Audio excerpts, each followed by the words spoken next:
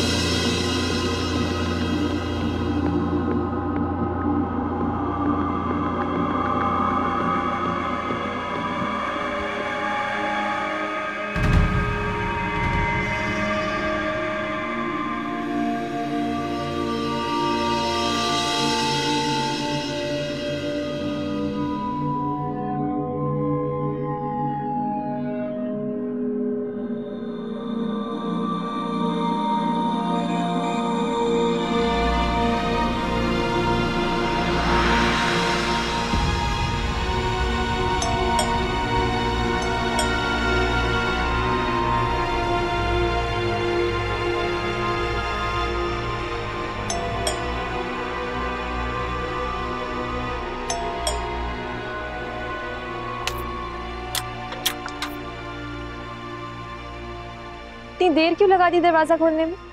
देर? मैंने तो जैसे ही सुना मैं आ गई खोलने। कोई आया तो नहीं था? नहीं कोई भी नहीं। फिर गोशी का मेकअप अम्मा भी नहीं किया होगा। कौन गोशी? रास्ते में मिली थी मुझे। तारीफें कर रही थी तुम्हारी बहुत। हाँ वो भूल गई। मैंने किया है। हाँ। लेकिन तुम्हें एक बार अम्मी से या कम से कम मुझसे तो पार्लर में जाने से पहले पूछना चाहिए था ना? अम्मी घर मेरे हवाले करके गई हैं। कोई ऊंच नीच हो जाएगी तो कौन जिम्मेदार होगा? आई एम सॉरी भाभी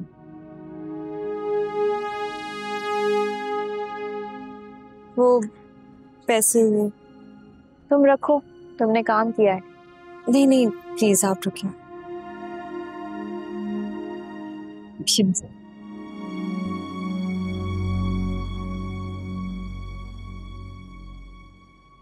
अल्लाह हाफिज अल्लाह हाफिज रुको